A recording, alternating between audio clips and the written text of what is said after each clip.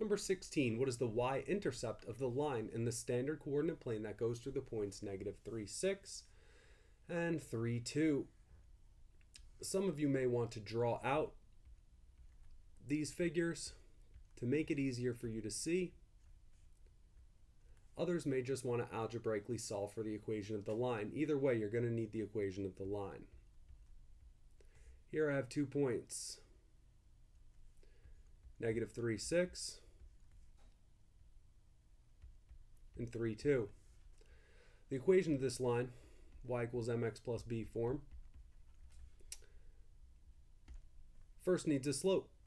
The slope formula is rise over run, or delta y, over delta x, or y2 minus y1 over x2 minus x1. Here, my rise is negative 4, and my run is positive 6, making my slope negative 2 thirds. y equals negative 2 thirds x plus b.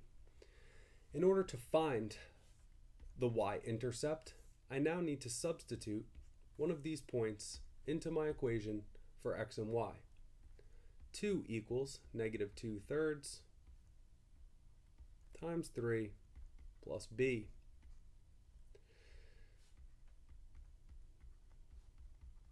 If I add 2 to both sides, I see that my y-intercept is 0.04. Letter choice H.